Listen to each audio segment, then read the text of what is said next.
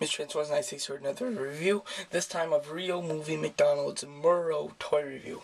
So there you go, I might be saying his name wrong, um, but I'm just going to pronounce it Mauro, I guess. So very cool. Uh, so the monkey, I was very excited to get this one.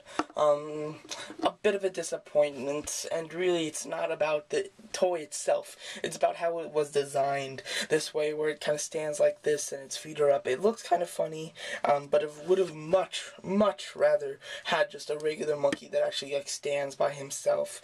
Um, it's a shame that he doesn't, but uh, what are you gonna do? It's just how they designed it. Um, what are you gonna do? But anyway, from what we have, um, the paint is very nice on his body and everything is very glossy uh, gray. Then on his tail is a normal gray. His face is sculpted is very nice, very wacky looking, very cool, very much like a monkey with these white highlights and how they did it. They just brushed um, brushed it on there.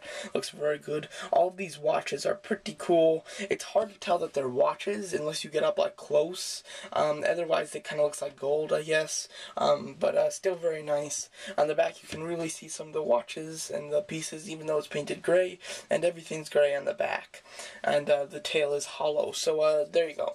Uh, very cool, kind of like a keychain. You can hang it on something if you wanted to. And uh, just very nice. So its gimmick is uh, when you turn on this and you shut off the lights and pull his tail, you will get this. So very cool. What an amazing amount of light here. Just really awesome. Really can bright up the whole back piece. So very cool. Let me just uh, turn lights back on. So very nice. Really a lot of light. Um, and uh, really didn't expect that much brightness in the light. But it's very cool. A lot. It really shines. Especially on this camera. It looks crazy. So very nice. You can't see anything if you go from the back right here. Um, but from the front a very large amount. So very cool. I really love this. Um, if they were actual monkeys that were like on the ground, I would army build them. But uh, since they're not, I definitely don't have any plans to. And um, so yes, so uh, they were pretty funny and cool in the movie. I would have liked. I know that McDonald's doesn't do this, but it would be cool if they like made a variant one, which is the same type of thing. He's just got a watch around his um, waist, you know, like the captain of these monkeys were.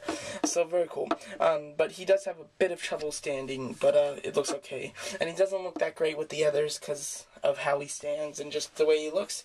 So there you go. Um, if you want to see him compared to the rest, wait until my last video where I will review them all together. So there you go. So that's my review of um, Rio McDonald's Mauro uh, toy review. Thanks for watching. The next will be the Yellow Bird played by um, Jamie Foxx.